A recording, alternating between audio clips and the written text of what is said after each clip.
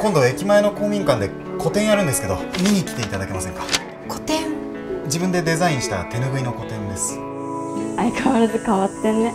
また会ってくれますか？そう思ってもらえることは嬉しいです。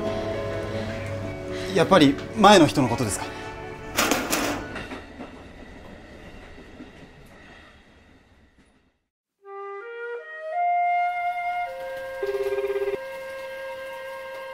もしもし風間です。滝本初美です。ああ初美ちゃん。あの手紙の人ね昔の私の彼なんだ。いつまでもあいつに引きずられてるってわけにもいかないでしょ。お店閉めようと思うんだ。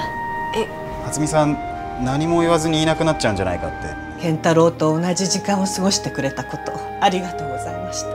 ごめんなさい私世界が真っ白になる夢を見た。私はずっとその4月の中に。